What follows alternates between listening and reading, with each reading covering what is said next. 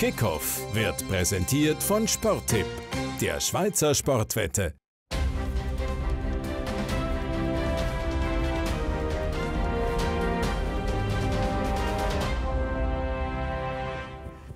Ja, fast vier Monate ist es her, dass wir sie zum letzten Mal haben dürfen begrüßen zu einem Kick-Off. Und dann hat Corona mit voller Wucht zugeschlagen. So schnell gehen wir aber nicht K.O. zum Glück. Wir sind zurück und wir blicken voraus auf die 25. Runde von der Raiffeisen Super League. Schon heute Abend geht es los mit dem Berner Derby zwischen Thun und IB. Dann morgen geht drei Spiele auf dem Programm und am Donnerstag schließlich Runde St. Gallen und Zürich der Spieltag ab. Ja, ich weiß nicht, wie es Ihnen geht, aber ich persönlich bin so etwas von froh, dass in der Schweiz seit dem letzten Wochenende endlich, endlich wieder geschootet wird.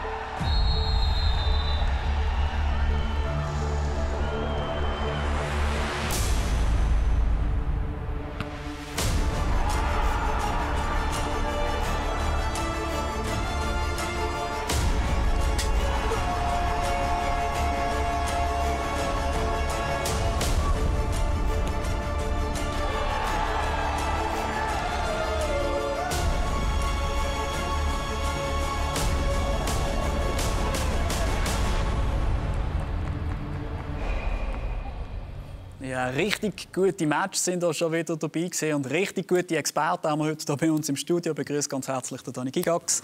Hallo. Und George Brecki, schön sind Sie da. George, wie hast du das erste Schweizer Fußballwochenende seit fast vier Monaten erlebt? Es war wunderschön. Endlich mal wieder äh, Schweizer Fußball gesehen. Man hat sonst immer nur in der Bundesliga schauen. Und jetzt einmal wieder äh, zu schauen, wie die Mannschaften starten. Und es äh, war doch sehr eine interessante Runde. Gewesen ist schon vieles passiert, was sich auch schon direkt auf die Tabelle ausgewirkt hat, wo wir uns gerade mal schnell können miteinander anschauen können. Auch Dani, mit dir. Ähm, hinten ist etwas passiert, im Abstiegskampf, aber auch ganz vorne hat es schon eine Zäsur gegeben.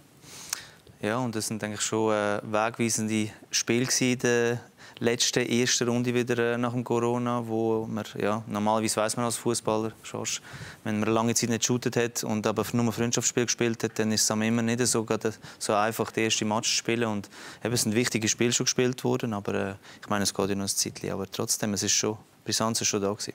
Und es ist eben vor allem auch richtig schon etwas passiert. Ganz vorne in der Tabelle ist der FC Basel neu schon acht Punkte hinter den beiden Spitzenritter St. Gallen und IB dass eben weil der FCB verloren hat. Auswärts mit 1 zu 2 gegen den FC Luzern. Und nach dem Match war wenig Positives um bei den Basler entsprechend dann auch die Schlagziele gestern in der Presse. An die Meisterschaft ist dort zu lesen gewesen. oder der Basler Niedergang oder eben auch der FC Basel verliert in Luzern und kann die Meisterschaft abschreiben.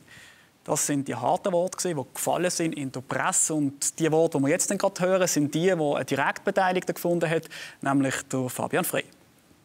Jeder, der ein bisschen rauskommt im Fußball und wahrscheinlich auch alle anderen haben gesehen, dass das nicht der FC Basel ist, wo, wo wir kennen von der Vergangenheit oder von jetzt auch von letzter Zeit, weil wir international gezeigt, dass wir es drauf haben und ähm, das ist heute absolut nicht der Fall Das einzige Positive eigentlich, dass es so schnell weitergeht ähm, und ja, mit den Punkten, wie ich gesagt habe, im Moment kämpfen wir um Platz 3, das ist weder unser Anspruch noch der Anspruch vom Verein und das haben unsere Fans auch nicht verdient.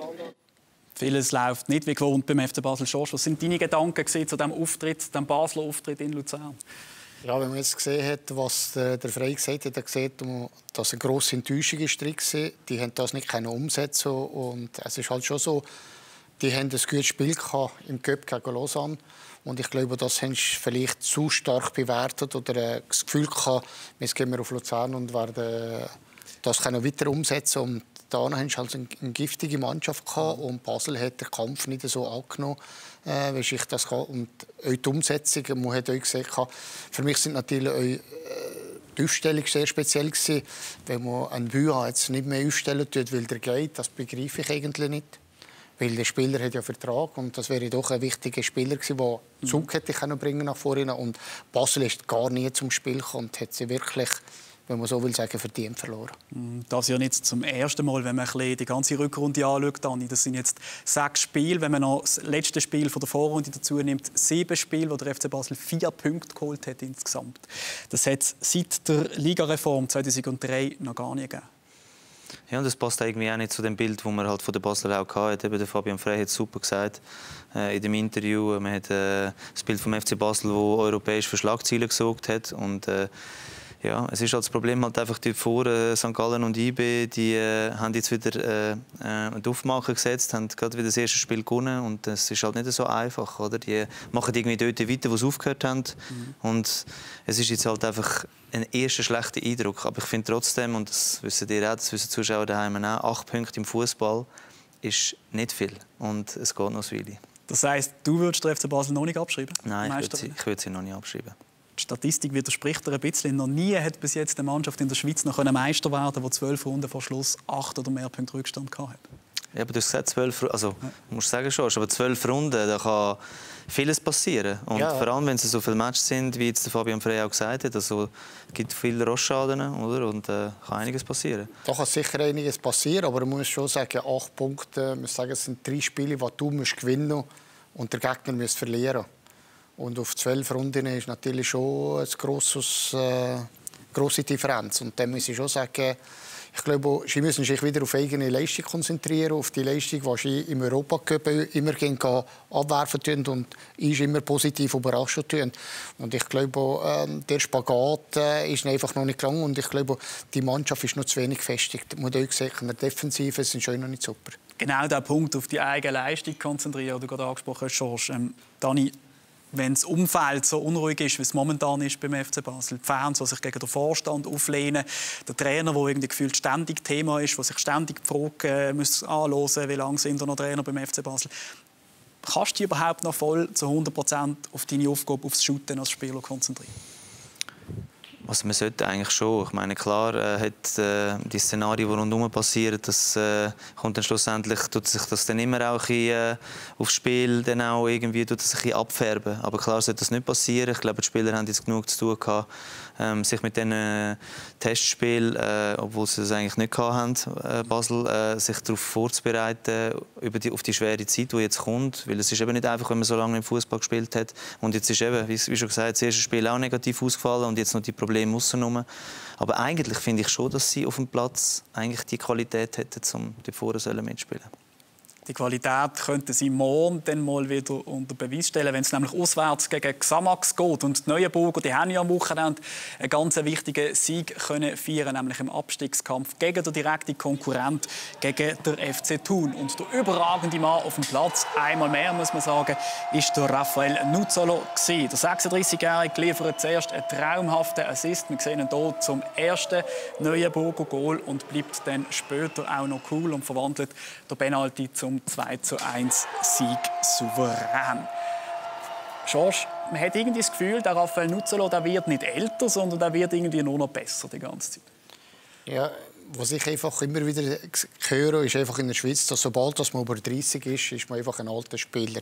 Das ist sicher auf einen, ein älterer Spieler, aber eben, man sieht es wieder am Nutzelo. Mit 36 kann man seine Leistungen bringen. Wenn man topfit ist, gut vorbereitet ist, physisch zweck ist, muss mental ganz anders als ein junger Spieler. Man weiß genau, was ich im Spiel beitragen muss, dass ich der Mannschaft helfen kann. Und er tut nicht unnötige Laufwege machen, die für nichts sind. Er weiß genau, wo er stehen muss und wenn er wo muss laufen Und da hat man wieder gesehen, mit dem Pass, den er gegeben hat. Das war gewaltig, dass er, das hat er einfach aus, aus dem Gespür, aus dem Auge gesehen, jetzt muss ich den Ball spielen. Und wenn der gut kommt, verkommt er der Stürmer nachher. Jetzt haben wir immer so ein bisschen, ja, ein bisschen so Sprüche gemacht und gesagt, Xamax ist eigentlich der Raphael Nuzzolo, da ist eigentlich viel mehr nicht rum. Xamax, hat sich aber auch verstärkt jetzt nochmal auf die nach Corona-Zeit mit dem Johann Churu und dem Xavier Kouassi ganz viel Erfahrung geholt. Wie viel stärker ist Xamax als noch vorher? Was denkst du? Also ich meine, klar, mit den beiden Spielern, äh, die sie jetzt geholt hat, eben, wie du gesagt hast, mit der Erfahrung, das ist natürlich Gold wert, vor allem in der Situation, wo Xamax jetzt auch steckt. Und wir haben es jetzt gesehen im letzten Spiel, das ist wirklich, obwohl es eben das erste Spiel war nach Corona, ist das ein mega wichtiges Spiel gewesen. und da sieht man auch wieder, wie schon vorher angesprochen, der Raffi Nuzzolo, der gerade wieder parat ist und gerade wieder den Unterschied ausmacht. Und er mit den anderen Spielern, die sie jetzt auch noch dazugeholt haben, ja, jetzt haben sie mal drei Punkte holen, jetzt können sie sich durchschnaufen, aber mit dieser Mannschaft, also äh, da hat ganz interessante Sachen drin. Das hat gesagt, interessant ist jetzt, sie haben den Wirbelsäule. Ja. Der Goalie, der Walter, Churo, Quassi, Nuzzolo. Und da kannst du alle schön anhängen und die anderen das sind die Läufer, mhm. die, die müssen machen und Scheiten dirigieren. Drumherum können entfalten. Die anderen drumherum werden rotieren. Ja. Zwischendrin und äh, der Tax bleibt einfach. Und das ist das Wichtigste von der Mannschaft. Ja. Also die Ausgangslage von Xamax gegen Basel ist definitiv auch schon klarer gewesen als jetzt vor diesem Duell. Was ist euer Tipp für das Spiel? Also, ja, ich meine, Basel muss auf jeden Fall eine Reaktion zeigen nach dem letzten Match und Xamax kommt mit stärkter Brust äh, geht in das Spiel rein. Also, schwer zu sagen, aber ich tippe auf Basel. Basel wird reagieren. George, einverstanden? Ich tippe eher auf ein Unentschieden, weil Xamax hat mich nicht ganz äh, überzeugt, vor allem wenn sie nur gegen Zehnt müssen spielen, haben das Spiel aus der Hand gegeben. Aber für, die, für äh, Xamax wird es natürlich ganz ein anderes Spiel sein. Gegen Basel da kannst du wieder auf Erwarten spielen und müssen nicht selber ein Spiel machen. Basel bin ich aber noch nicht so sicher, aber ich gehe eher auf ein 1-1 gehen. Also, wir werden schauen. So viel an dieser Stelle zum Spiel zwischen Xamax und dem FC Basel. In wenigen Augenblicken schauen wir dann voraus aufs Derby von heute Abend zwischen Thun und IB, wo wir dann auch ein erstes Mal schon in Stockholm Arena schalten. Aber zuerst überlassen wir die Bühne unserem Lieblings-Hobby-Fußball-Expert. Ja, nachdem er zwischenzeitlich hat müssen singen «Komm, bleib daheim» anstatt «Komm, bringen heim», ist auch der Baschi wieder zurück.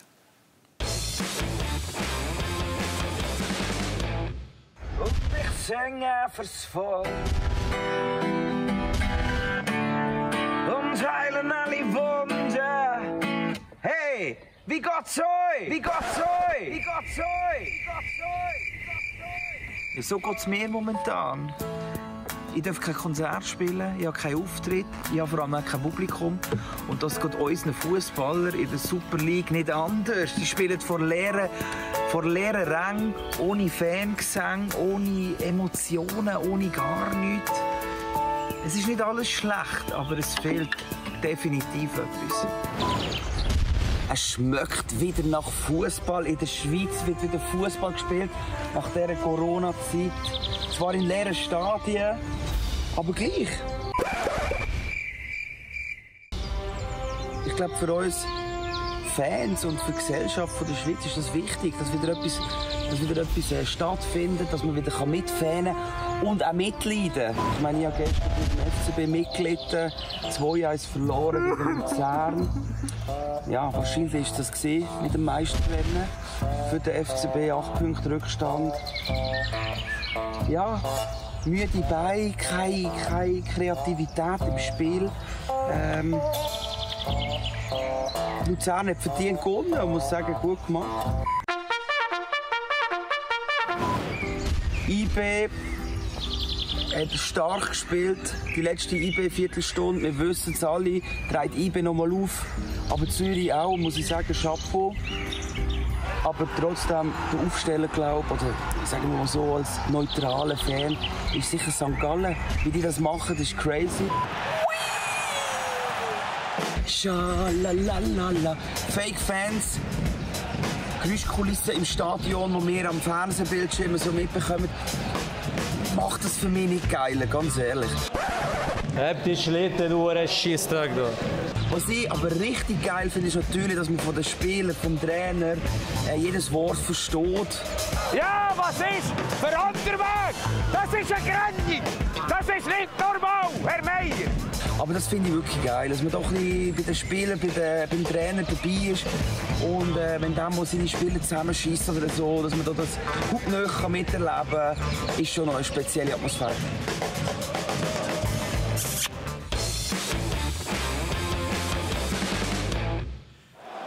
Ja, und bis wir wieder Fans in den Stadien haben, helfen wir uns auch hier im Studio noch mit ein bisschen Fake-Atmosphäre. Es ist nicht ganz gleich, aber immerhin ein bisschen Fußballstimmung kommt auf. Stimmung, die eigentlich auch sollte aufkommen heute oben in Thun, bei Thun gegen IB, ist Derby-Time. Ja, ich glaube, äh, bei einem Derby muss man niemand heiß machen. Also wenn man da nicht heiß ist, kann man daheim bleiben und von dem her ähm, ja, Vollgas und äh, dort drei Punkte holen. Ja, wenn man dort nicht heiß ist, kann man daheim bleiben. Ich glaube, der Stefan Klarner bringt es auf den Punkt, der Captain vom FC Thun. Dann nach der Niederlage von Thun gegen Xamax im direkten Duell gegen den Abstieg kommt so eine Derby gerade zur richtigen Zeit. Ja, und vor allem auch, weil äh, wenn ich mich erinnere, die letzten Matches in den Berner Derbys haben eigentlich Thuner immer äh, gute Match geliefert und äh, ja, jetzt hat man im ersten Match sich können antasten und eben, wie du schon gesagt hast, jetzt kommt das Berner Derby und das ist eigentlich genau der richtige Match. Du hast solche Derbys miterlebt, zeitweise. Ja, selber. Sind sie, sind sie so etwas Spezielles? Ja, die Derby sind sicher immer sehr speziell, weil äh, das ist ein richtiger Kampf. Da, wenn, zum Teil sind auch Spieler, die im BD Club gespielt haben, zum Teil sind auch Spieler, die uns entlehnt sind, jetzt im anderen Club spielen. Und das ist natürlich eine Atmosphäre unter den Spielern selber, eine Konkurrenz, die da ist. Das ist natürlich etwas Gewaltiges. Darum, auf einer Seite ist es ja schade, dass man keine Zuschauer hat so, äh, im Stadion heute, wo wo das Stadion mal endlich wieder vielleicht voll würde sein. Und das ist natürlich ja, und das wird ein kleiner Vorteil sein für IBE, weil die Fans nicht da sind, weil Thun lebt doch viel von dem Geist von den Zuschauern. Ja. Da kommen wir gerade noch drauf. Ähm, eine von den Personen, die der George gerade angesprochen hat, die für beide Vereine schon gespielt haben, ist der Leonardo Bertone. Der ist jetzt beim FC Thun, früher noch bei IB fehlt aber ausgerechnet gelb-rot gesperrt, weil er eben gegen Xamax vom Platz geflogen ist auf zwei Ebenen. Einerseits hat er natürlich noch so gern gegen gezeigt, was er mit tun kann. Andererseits ist er grundsätzlich sehr ein wichtiger Spieler geworden für den FC Thun. Ja, auf jeden Fall. Ich meine, dass sie, dass sie ihn geholt haben, das ist äh, ein wichtiger Zug für Thuner, eben, wie es vorher schon angesprochen hat.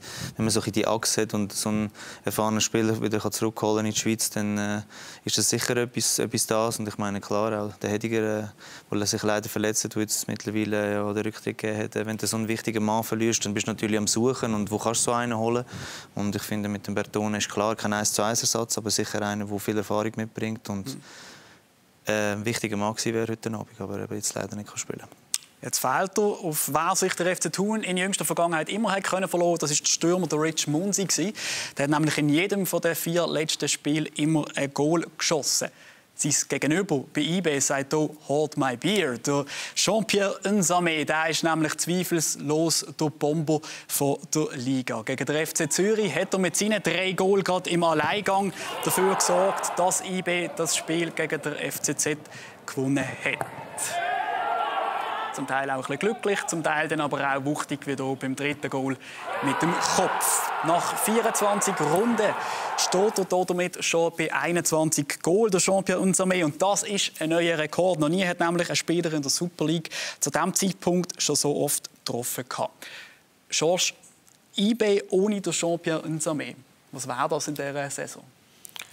Ja, man muss über das gar nicht diskutieren, weil es nicht so ist. Er ist einfach da und er ist einfach uns sukzessiv an die Mannschaft herangeführt worden.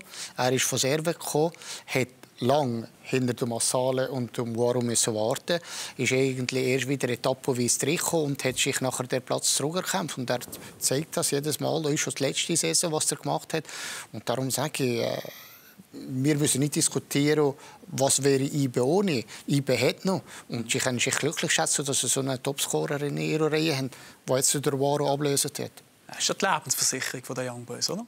Kann man schon so sagen. Ja, ich meine 21 Goal. Also ich glaube, die Krone die nimmt dann äh, kein Spieler mehr, auch wenn der Sedi dann im Moment äh, mega gut drauf ist. Die Frage ist einfach, wie lange er noch dort wird. Ich meine, ähm, mit so einer Statistik und eben, wenn du jetzt gerade nach, nach dem Lockdown wieder drei Buden schiessest, dann wird es natürlich interessant für ausländische Clubs und äh, ja, da wird es schwer sein, dass der behalten. Aber jetzt, solange er da ist, genießen wir ihn natürlich noch noch ist er da und so könnte er auch heute oben in Thun wieder zuschlagen. Und genau dort, wenn wir jetzt ein erstes Mal schalten zu unserer Reporterin, zu Nathalie Barros. Nathalie, du verfolgst für uns das Derby heute vor Ort.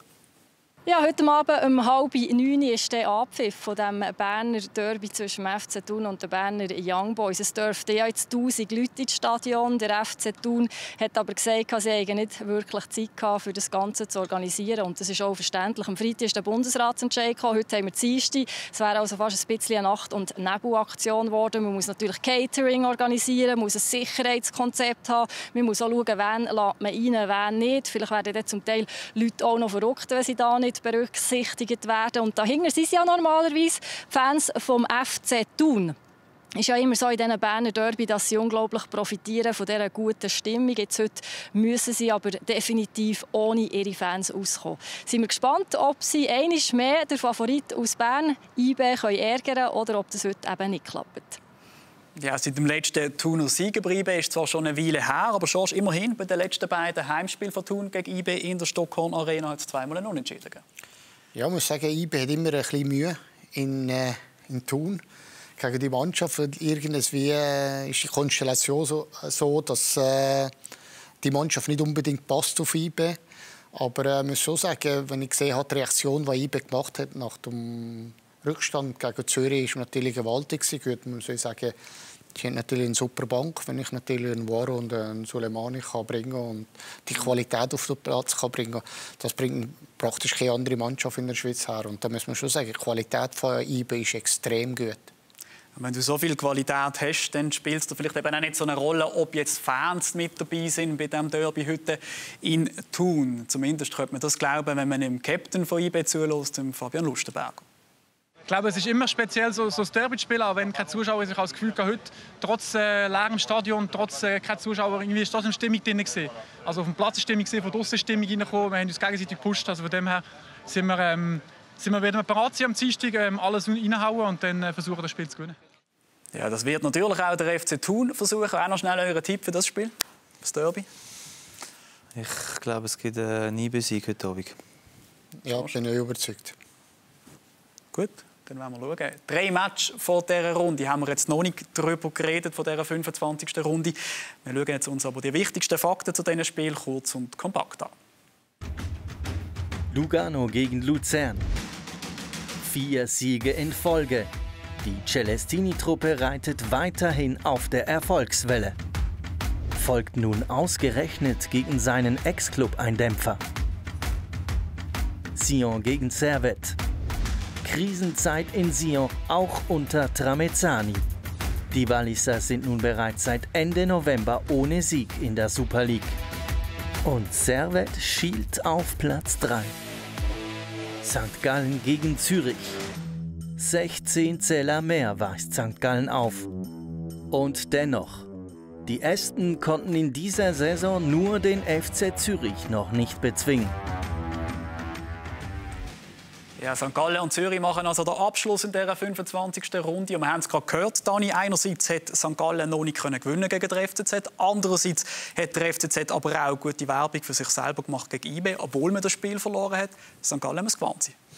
Ja, und eben, die Statistik im Moment ist nicht allzu gut. Kann man sich eigentlich bei St. Gallen fast nicht vorstellen, wie die das wieder mitgenommen haben jetzt in die Zeit hinein. Aber eben, der FCZ hat eine gute Anfangsphase gehabt gegen Berner Young Boys dort. Das war auch nicht einfach. Gewesen. Und äh, die probieren natürlich die Statistik zu haben. Und auch der FCZ-Trainer Ludovic Mania sieht dann trotz Niederlage in Bern eigentlich keinen Grund, etwas zu ändern für das Spiel in St. Gallen. Wir werden versuchen, genau gleich Fußball zu spielen, mutig zu spielen. Ähm, wir haben einfach äh, diesen Spaß, Fußball zu spielen. Und das möchte ich sehen. Ich möchte ein Team spüren, die zusammen alles gibt. Und äh, die Ergebnisse werden, wenn wir so spielen, bin ich überzeugt, die Ergebnisse werden folgen.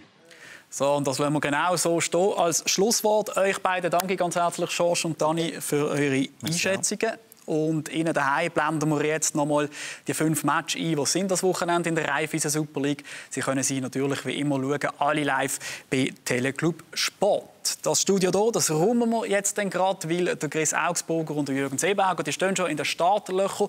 Die empfangen sie dann nämlich zum Zürcher Kantonsderby in der Challenge League. Vinti gegen GC in wenigen Augenblicken hier auf dem Sender. Thank you.